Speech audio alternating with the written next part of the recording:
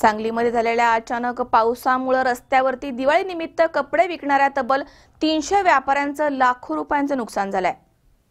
सांगलीमध्ये रात्री परतीचा पाऊस अचानक सुरू झाला त्यावेळी रस्त्यावरती दिवाळीचे कपडे विकणाऱ्या तब्बल तीनशे व्यापाऱ्यांचं लाखो रुपयांचं नुकसान झालंय. तसेच नवीन कपड्यांचं देखील मोठं नुकसान झालंय. त्यामुळे छोटे व्यापारी चिंतेमध्ये पडलेत. दिवाळी सण अवघ्या दोन दिवसांवर येऊन ठेपलाय. त्यामुळे गरिबांची दिवाळी साजरी करण्यासाठी छोटे व्यापारी दरवर्षी सांगलीच्या रस्त्यावरती आपले स्टॉल लावतात. यंदा हे स्टॉल लावण्यात आले होते.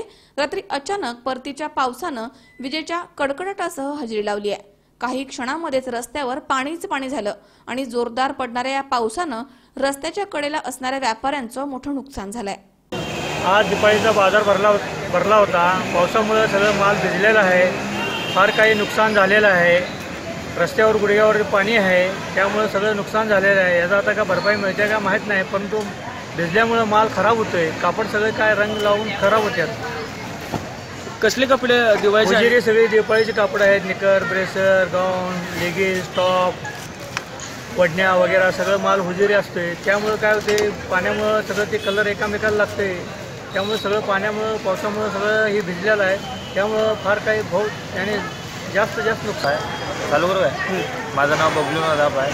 आज अखेर आम्ही शनिवार बाजारमध्ये आलो होतो. सगळं पाऊसमुळे सगळं आमचं माल बाद झालेला आहे. यामध्ये jean pant sari bidi dress material ते सगळं होता.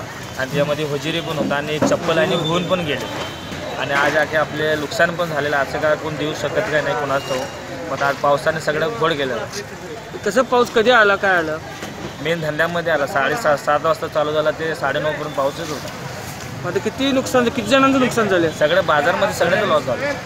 किती लोक तुम्ही? एक- कमीत कमी दोन तीनशे लोक सगळं बाजारमध्ये लॉस झाले. गुडघ्यापर्यंत पाणी आलं. मग लाखोचं माल नुकसान झालं. गणेश चव्हाण सी चोवीस तास सांगली.